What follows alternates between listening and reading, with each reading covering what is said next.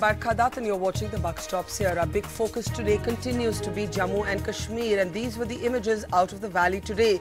The Home Minister on a reach-out visit, striking a conciliatory tone. But as you can see in those pictures, the Chief Minister in a combative, aggressive, angry mood even closing that press conference before the Home Minister was quite ready to do so, ending by telling journalists to have a cup of tea after an argument when a reporter said to her that she was behaving very differently from how she had as an opposition leader in 2010, which was the last time that the valley saw a major unrest of this kind. And Omar Abdullah, now opposition leader, was then chief minister. Mehbooba Mufti being combative, the home minister being conciliatory. How should we read this press conference today?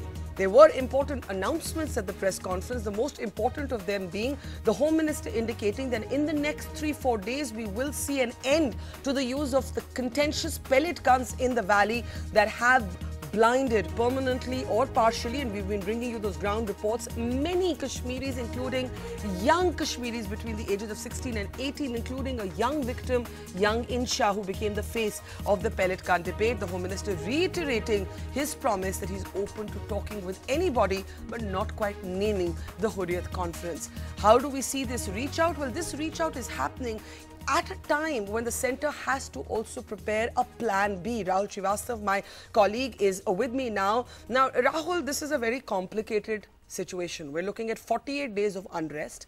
We're looking at this press conference that took place today where the Home Minister sounds composed, the Chief Minister sounds angry, she sounds anxious, she sounds combative.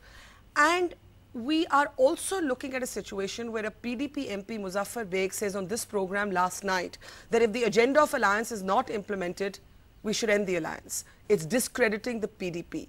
What are you hearing from the BJP? Is the PDP now conveying its nervousness, its political nervousness about what this unrest is causing it politically on the ground? Barkha, the nervousness was conveyed to the government some time back. And after that, there was this meeting on the 18th of August between Finance Minister Mr. Arun Jaitley and Prime Minister. And then there were meetings between the Prime Minister and the Home Minister. And the alarm bells, have been ringing. In fact, Mr. Rajnath's visit to Kashmir is largely because of that kind of a sensing of a crisis and a, perhaps a desperate attempt to at least retract some kind of normalcy in Kashmir.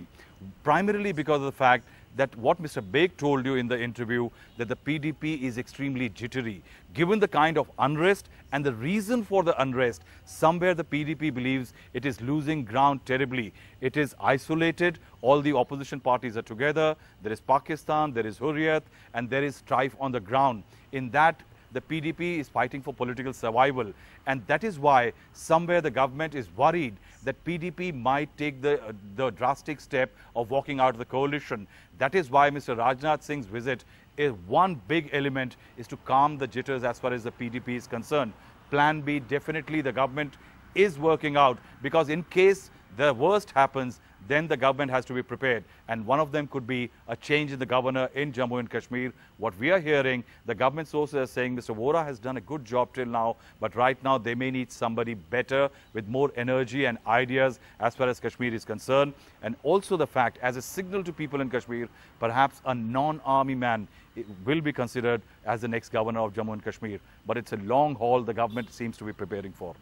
All right, so no quick fix solutions in sight. Uh, the, the BJP has to prioritize keeping that alliance intact. Uh, Rahul, as you said, the PDP developing some jitters and conveying those jitters about what this may be costing them politically. Now, nobody in the PDP is actually saying this except one man. He's been the former deputy chief minister. He's a member of parliament. He was the PDP representative at the all-party meeting. And this is what he indicated on the buck stops here just yesterday. He said, and this is the word he used, the alliance could discredit the PDP while the BJP remains secure in Jammu if the agenda agreement between the two parties is not implemented. Listen to a brief excerpt. Would you advise Mehbooba Mufti to stay the course of the alliance or would you advise her for the sake of political longevity for the party to, to, to, to break it? Well, I, I would say that if the purpose for which the alliance was the reason they thought, the reason, the purpose for which this alliance was formed, if that uh, purpose is not solved not because of inaction, but because of a deliberate policy of BJP or Sangh Parivar, then I would be a person who would like to walk out of this alliance. All right, so Muzaffar Beg actually said that if the agenda of alliance is not implemented, I would like to walk out of this alliance. The PDP is being discredited, the BJP is safe in Jammu, and if this alliance is not implemented, he went on to say it's not worth the paper he's written on. This as the Home Minister reaches out in the valley, but the but as we said, two very different tones, a combative chief minister, a conciliatory home minister. On the panel today, Sambit Patra of the BJP is with us, Wahidur Rahman Para of the PDP is with us. In the studio with me, Tanveer Sadiq of the National Conference. We're also joined by General Atta Hasnain, uh, the former General Officer commanding of 15 Corps uh, in the Kashmir Valley, Professor Hamida Naeem, uh, who is of course with the Kashmir Center for Social and Developmental Studies, and Shahid Siddiqui, editor Nayi Dunya, was also one of um, the, the track two delegates that Rajnath Singh uh, actually met with in Delhi, and we'll bring him up in a moment. Um, Sambit, very interesting, uh, different persona struck by the two leaders. Uh, the BJP, otherwise known for ideological aggression on Kashmir, actually sounding uh, soft and gentle, and the chief minister sounding somewhat angry. Though I'm not a body language expert and I would not transgress into those lines, I'm a political spokesperson. I would maintain uh, my, my statement politically. That's what we have been saying right from the very beginning. We want reconciliation, we want peace, we want normalcy, and that's what was reflected by the statement of the Home Minister, Mr. Rajnath Singh. As far as the respected Chief Minister of uh, Jammu and Kashmir, uh, Mehbooba Mufti ji is concerned, well, yes, certain questions were thrown to her in a wrong way, and she replied back in a, uh, in a different way. What was way. the wrong question? What did you find was the wrong question? The question no, no, I remember it, that was, it was a wrong question. It's not for me to decipher. Yeah. She said to the last question, which particularly asked her that was it a changed Mehbooba Mufti yes. uh, compared uh, to her stand in 2010? Then yes. she very factfully, in fact, said that well, this is what the situation in 2010 was. There was an encounter which was false, but in this case that is happening today, Burhan Wani and the two other terrorists who were killed, it was a true encounter. And in fact, she has put lid upon certain questions questions which had been cropping up in the media, often in these debates, that Mehbooba Mufti somewhere was against the encounter. Uh, contrary to this kind of statement that has been floating around, she in fact put a lid to these kind of okay, controversial statements. So let me said, take no, that to Wahid. It was a real encounter. Let me take that to your ally Wahidur, uh, uh Wahidur Rahman Para. Wahid, the Mehbooba Mufti I remember used to vis visit the homes of the children of militants. I'm not even talking about separatists, the children of militants. And when I would ask her, why do you do this? She said, bachcho ki kya galti hai? Now today, this is a different Mehbooba was the question put to her. She got angry. Why did she get angry? Well, I think you need, Barkha, everybody in the panel and especially you know the politics of uh, and you know how she's nurtured the idea of healing touch in Kashmir and also how she's committed to the cause of upholding the human rights in Kashmir. And very openly, the way you said, she's gone to the militant families, the victims, everywhere, wherever there was an assault, human rights violation, she used to reach out. And what has changed, if, you know, like the youngsters on Srinagar streets are today angry or the Kashmir you see young people who are angry. Mehbooba ji has also a right to be angry. We have, she's in power with, after why? Mufti Saab you know, passed away. Who is she I, angry I, with? With journalists she has been, she, or with, with, yes, uh, with yes. The, who is she angry with? I'm coming to the point. She's continuously asking for time and she has said after, you know, the death of Mufti Saab, she has been battling to make a stable alliance, you know, make a, a, stable government in a fragile state like Jammu and Kashmir, which has a fragile peace for last many, many years. Yes. Now, it's very difficult to have a sustained peace process in state of Jammu and Kashmir to initiate an intra-state and interstate dialogue. And you know yourself how dangerous the state is and how many people are backstabbing the peace process. Now, continuously, she has been trying to initiate the process of economic development, political resolution, and you have a backlash again. So, she's been appealing to the youth in particular that give okay. her some time. She has the credibility among the young okay. people. We all, all of us know. And today's anger. Yeah. I will accept that she was angry. Yeah, let's bring those pictures because I want to, that, uh, those pictures capture in, that anger. Yes. Who was yeah, she angry with? I ask again, I, I, who was she angry she, with? She, I mean, if she's, what's wrong if she's asking for time, what's this agitation in Jammu and Kashmir has been going from That's last six years. Question. We've been covering up. We always used to, yes. we used to, we used to put a spring, we, we put a hand on the spring and the agitation is wiped out. We are today trying to address it seriously. The first time Prime Minister of India says, let's have a permanent solution. The Home Minister of India reaches out twice in a month and says, I will talk to everybody in, Insaniyat ke daire mein. Yeah. Now there is, I mean, a largest section who does not want to engage or who does not want to talk. She has been continuously appealing to the central government, preparing a ground and So you're saying you're saying that and she should be given time, tell and me, there are vested interests who don't want to give her that One- time.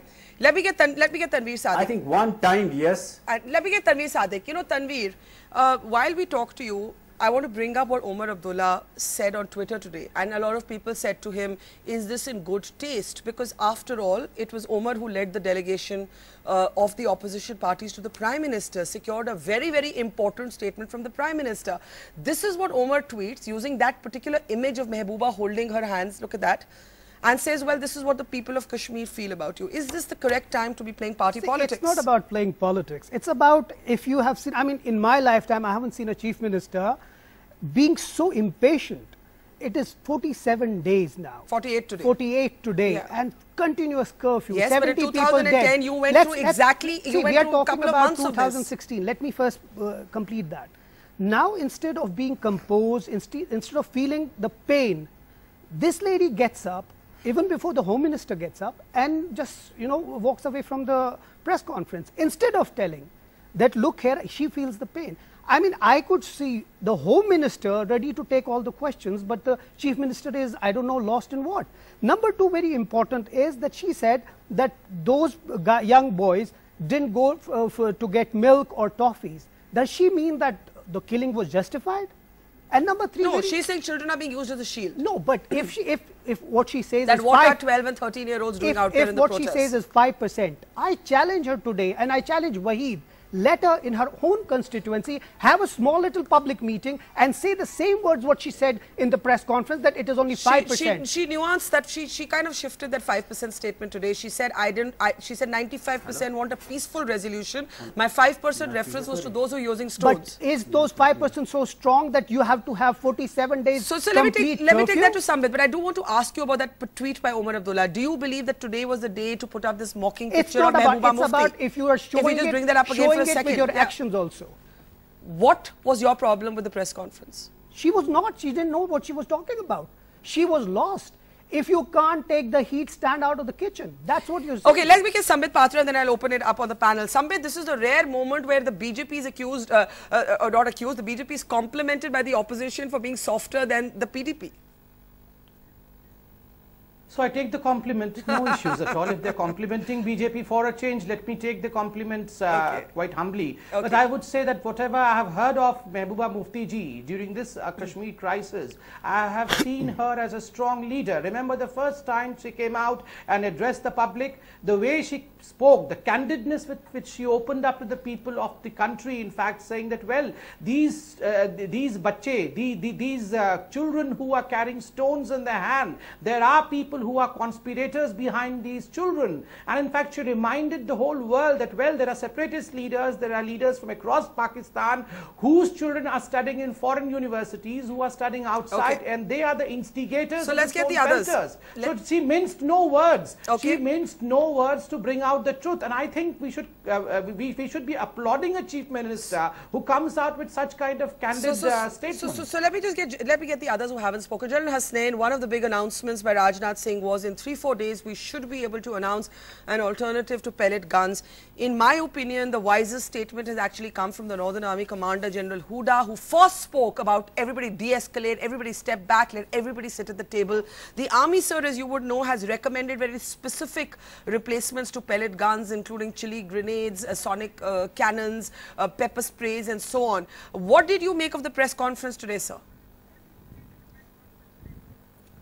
Um, Barkha, first of all, let me say today is Janmashtami. Yes. I think that aspect has been forgotten. It's a happy day all over India. Yes. It should be a happy day in Kashmir. And I was hoping that the uh, message coming out of the press conference would be a happy one. Now, obviously, we are in difficult times. One would not expect some, some marvel all of a sudden to find everything improving in a single press conference. I still feel that the press conference conveyed a lot which had not been conveyed so far in the last 47, 48 days. Like what? Without taking any political Like sides at all. Like what? Like let, what? let me let me let me just let me just let me just finish. First of all, I think uh, the Home Minister, Mr. Rajnath, very positive body language, very positive words spoken, uh, very conciliatory. That's the kind of message in a difficult time such as this. Now, let me come to the political part of it in which I take no sides. Yes. I have been very appreciative of Mr. Omar Abdullah's efforts Yes. of actually putting things together. I've seen his entire interview with you. I think he put things in perspective extremely well. But then he's not in power today. Yes. And he was in power in 2010. So that's a different thing. Okay. Today, Mehbooba is in power. And she's feeling the pinch. She's feeling the weight of the crown that she is wearing. To expect her to come out of it in a normal circumstances of 47 days of strife is a difficult thing to do. Okay. I would not expect her to be normal. She's under tremendous pressure. Yes. The fact that she's come on and taken on a press conference is a very, very positive sign. I'm expecting that in the next three, four, five days, as the situation on the ground improves, and I'm very positive about that, because today one has been monitoring, things are improving, it seems. As the weariness, as the stamina starts wearing out, as the logistics on the ground start wearing out, which invariably happens, I find that you will find that the political figures in Kashmir will start getting more functional. Okay. And I hope that will happen, and that will lead to more conciliatory gestures and hopefully a return of peace. Let me- so I'm not negative at all about this. On the aspect of your pellet guns, Yeah. let me tell you. Yeah, and let's bring up some pictures Pellet there of, what, of, of the pictures that have come out of the valley of these pellet uh, injuries. Uh, go ahead, General Hasnain. I, I'm fully aware. I'm fully aware of that. This has been a problem right since 2008. Looking for non-lethal weapons has been a task which uh, the uh, CPFs, CAPFs have been doing. We may have gone wrong in acquiring the type of weapons that we acquired and possibly not even utilizing them in the right way. And that's an acceptance at the moment. The fact that the Home Minister has admitted it is a very, and candidly admitted it, is a very, very brave admission, let me say. And the fact that he has said in the next three, four days they're going to remove them altogether is again a very, very positive statement. That should by itself send a very conciliatory message to everyone down the line that hopefully peace is returning to Kashmir.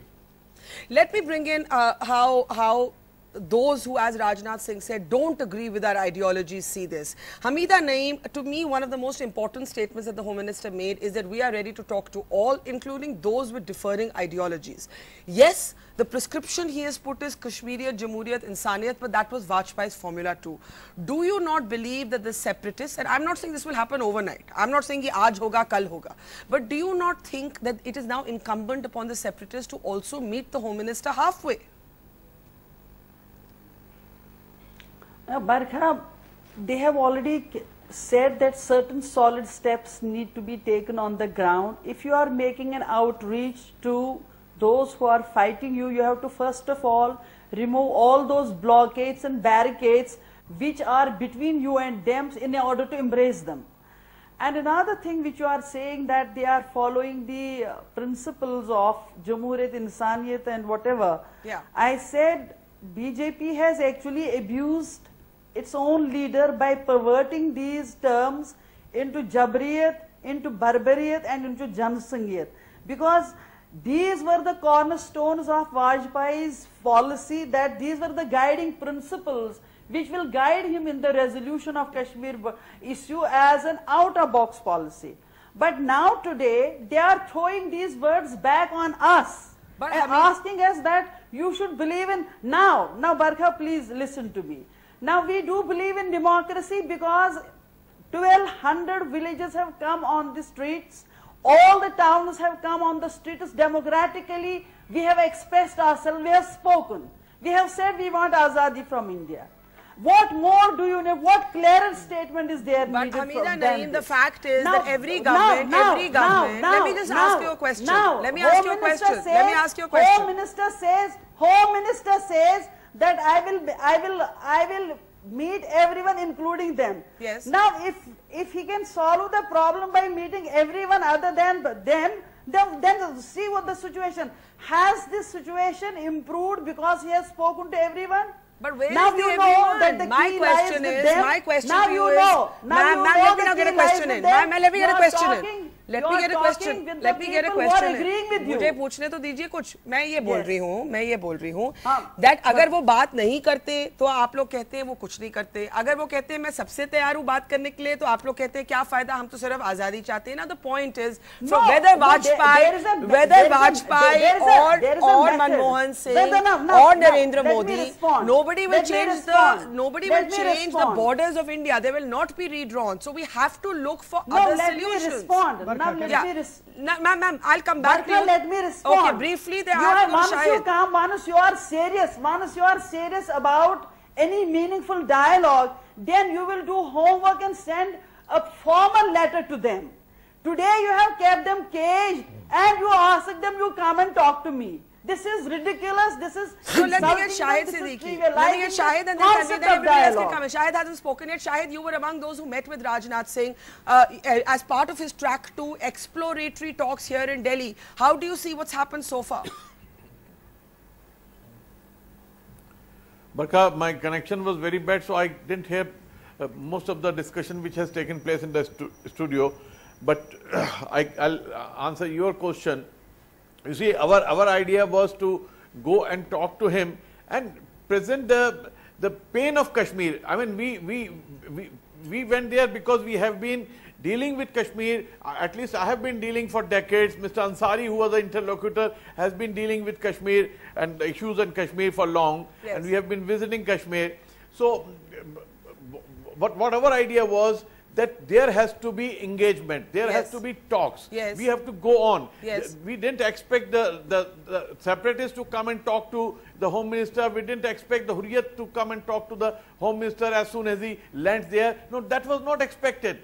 But some openings have to be made, some beginning has to be there, and from there we have to take up. But my, my the point I made to the Home Minister also that every time there is violence in Kashmir, we you, you know react and res- respond to the situation. But as soon as situation normalizes, we forget about Kashmir and that should not happen. There has to be persistent, consistent dialogue and we have to find ways, ways Okay. I will say within the within the framework of our constitution, and, and I remember I, I was part of that when, when Atalji made his effort, and we, we were able to find a workable solution with Musharraf Saab in Pakistan, and that is that is where here we have to normalize let the me get- situation. we have to let me get to reactions Pakistan, now. and then Let me get reactions that now. things- Tanveer, you wanted to come in, out then in a way that, See, that are acceptable my to both the point, my countries point and is just Kashmir. simple. You know, New Delhi doesn't have the best of track records when dealing with Kashmir.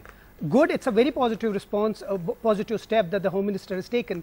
But by tweeting, by saying that Insaniyat, Jamhuriyat and Kashmiriyat, may I can speak to any, anyone, you don't expect the moderate Hurriyat or a person. That takes time. You I, know, that I agree, I agree. Else. It's but not you don't the expect, Congress succeeded. You don't it's expect not like the, the Congress succeeded in those talks. In fact, I the agree, only I agree. person who My point is different. My point is different. Yeah. You don't expect a Hurriyat leader to come on your door knocking, okay, I need to speak. You need to start the track two. You need to send people there covertly or overtly, whatever, but you need to start a political know it's not happening already? I, I believe that then the Home Minister wouldn't have said what he said. Okay, let me get Sambit in. Sambit, Sambit. Uh, We have to remember a few important things over here. Number one, the Home Minister said that he would like to talk to all the stakeholders, but within the framework of Indian Constitution. And today when I was going through the headlines of many newspaper, one of the important headlines was that Hurriyat said that we would not talk within the frameworks of Indian Constitution because, I quote, we do not have faith in Indian Constitution. So I believe each one of us present over here in the panel would agree to the fact that any solution has to be found within the frameworks of the Constitution of this country. The Constitution of this country cannot be kept aside. Number two, I disagree with what Mr. Sahil Siddiqui said that uh, whenever there is violence, that's the only time when we remember Jammu and Kashmir. No, sir. It was a Diwali which the Prime Minister spent in Jammu Kashmir. There was no violence then. There was a package which was rightly given to Jammu Kashmir because it is a part of our country. They are brothers and sisters. And thirdly, there was a, a unfortunate ta- flood situation Sambit, I'm in Jammu talking and of the Kashmir. political, political The political process Not- or not or the about political the back back. Yes, sir. I- I'll complete that. Let me complete. Let me get Wahid. Let me get Wahid now. Let me get Wahid. Let, let me be very Okay. quick in Okay, completing. okay, 10, 10 seconds. okay, 10 seconds. Okay. There was was a flood situation in which the country was standing and rightfully so along with the people of Jammu and Kashmir. The third thing that I don't understand often is you know, when we talk of development, as Mr. Modi spoke out uh, from uh, Uttar Pradesh, I remember when he said that, well, the hands that should carry laptop are carrying stones. Let's develop the state. Then Omar Abdullah and many others like Professor Naima, uh, Ham- present Hamida over Naeem, here, yes. they say it's not, Hamida Naeem, sorry, they say that it's not an issue of development. Yes. It is something beyond development. Yes. It is a political Which the Prime. Minister admitted And to the I- I- I was shocked today. to that. I- Yeah. I- just a second. I The was shocked today when the professor, in fact, articulated saying that it is only Azadi. I'm so sorry. I believe Sambit Patra is not on the line of his own prime minister. solution. If his prime minister agrees that it's not only the development that uh, that will solve the issue, then I believe No, the but Azad, spokesperson do the you mean BJP to should say what the professor said either, that he- that's either the, the only BJP thing, is taking a different Azadi is line, the only or thing? Sambit I don't Patra agree doesn't with know it. what his Let prime Okay, minister I need to get said. Wahid in. I need to get No, no, Wahid no, in. no. I need to get The pro- first, then I'll come to Has General Hasnain, then Hamida. Wahid, uh, the point is, you have a Muzaffar Beg, senior leader of your party, saying agenda implement nahi ho raha hai. Agar agenda implement nahi hota, our party is getting discredited. The BJP is safe. How do you respond to your own MP's comments uh, made on this program last night? Look, Barkha, he talked about the agenda of alliance and uh, the successive governments uh, in center and the state have been completely decomposing the Kashmir issue. This is for the first time our agenda of alliance with the larger BJP has been addressing two particular segments related to Kashmir. Yes. That is the Kashmir issue and the issues of Kashmir. The Kashmir issue is related to the dignity and identity of the Kashmiri, which PDP from the day one has been battling for, and that has been our principal political stand. And the issues of Kashmir, which means political, economical, social, and Are you happy employment, with the agenda roads, of sadak, alliance? pani, Because bijli. Be- Beg Now, I'm Saab coming to the certainly point. wasn't. We are Yeah. happy. Certainly, we are happy with the agenda of alliance, but No, no, the way it's being implemented. Can he please specify, PDP, specifically tell me one think- part of his to be- agenda of alliance that I has been implemented from the last one and a half years? Just one. Okay, let him if you complete his can't, point. Tanveer Saab, Let him Tanveer complete. If you what you can't do in 60 years, you want to do us in six months. So I think we have been from the day one trying to implement the agenda of alliance. But agenda of alliance is a process. It's not a one-day event that you announce. Look, we have done it. It's a process. You need to create an environment between two countries, between Delhi and Srinagar. There has been complete breakdown of the trust, and there are a lot of people who are like the national conference who want to do politics. You sir, saw your chief minister is how not harming they are agreeing. for the political She says it's only 5% on I'm the not- road. Look, Tanveer, we don't. We, she said, yes, she said the 95% of the Want people in Kashmir resolution. want a She- peaceful she, solution. She nuanced that statement Want today. a peaceful resolution. I want to get a and general 5% Hasnain of the people I have time a, only for last comments. General Hasnain, go are, ahead. are still indulged in violence. where okay, what's Tamir, wrong Tamir, with Tamir. They're 5% and 10% Then- same as it was in 2008 Okay, and okay, okay, guys, this is not about National Conference versus PDP. It's much larger than that. General Hasnain, go ahead. The entire problem and General genesis Hasnain. has been Firstly, the Why? foundation Barkha. of this Yeah, conflict is Hasnain. laid by Barkha, national Barkha, conference. Barkha. My turn, my turn, my turn. Yes, talk it on is this your My turn. turn. Yes, sir. Barkha, my turn to speak. Six months, not even six months gone by, I think it's a little unfair to pass judgment on a government at the moment. Give it time. I think, I hope things will improve. But more important point which I want to make is, I want all the panelists to again revert back a couple of years and look at this whole situation from a slightly positive angle. Okay, things may have gone wrong. But look at what General Huda said just the other day. I agree. And I take a cue from that. Yeah. Go back to 2011. Why was there such an excitement in Kashmir that time when the army had undertaken a lot of initiatives? The chief minister had fully given his backing to it. Every political party, every functionary on ground had given the backing to it. And all the people were excited about the fact that we were once again engaging people. Yes. This carried on for the next two to three years. And somehow it stopped somewhere. Yeah. For whatever fault it was. Yeah. Why can't we look at this entire issue positively and think back to what was the right things which were done in 2011? Okay, can I, can I, can I And just... possibly that may give us some cues. Yeah. I think that's a fair point, and I, I, I still think that the wisest statement in 48 days has come from General Huda. Uh, Hamida, quick last word from you. One of the things that Muzaffar Beg said was, he said, Kashmiriyat, इंसानियत, जमहूरियत तो एक तरफ तरफ uh, ठहरी अब एक नई चीज आ गई है वो है पाकिस्तानियत and how are how is any government supposed to deal with Pakistaniyat?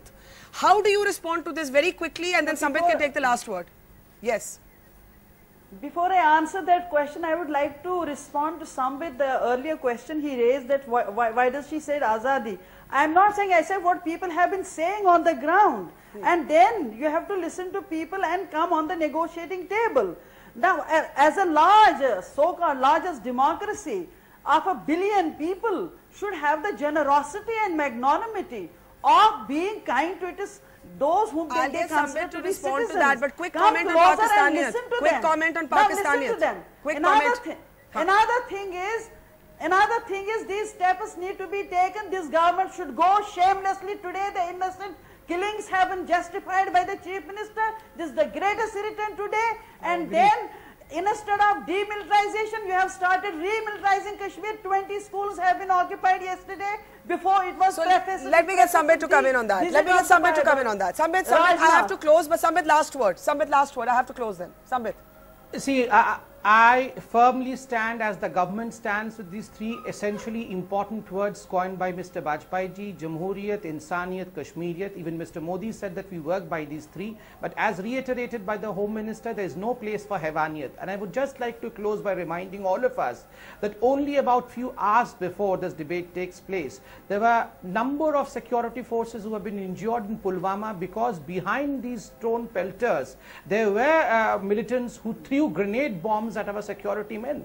So a fine balance has to be maintained. A balance where we know how to save our civilians, how to respect It's our wolf and civilians, and yet to see that our security men also don't lose their Barkha, lives. it's Yeah, please, for God's sake, we have to think for both and sides. Wolf and lamb Now, one story. minute, one minute, one minute. I think we do have to agree that, that, that this is a complex situation where we have to appreciate that it is from a man in uniform that the comment came, let us all step back, sit at the table, all of us, the forces, the government, the students, the separatists. This came from the Northern Army commander. So let's not, let's keep that in mind while we look, uh, look forward uh, at what has happened today. has Leaving it there, leaving it there. I'm out of time. Hamida. Naeem, Shahid Siddiqui. Sorry, out of time. We'll keep continuing with our Kashmir conversations. Thank you so much.